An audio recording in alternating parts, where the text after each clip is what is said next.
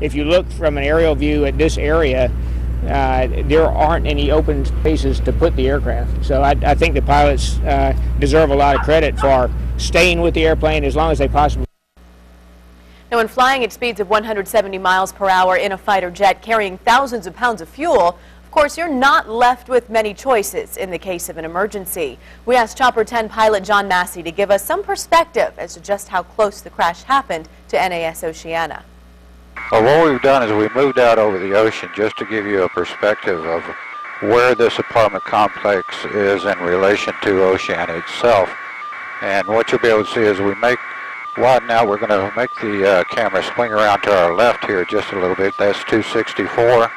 And right into your frame right there is Oceana.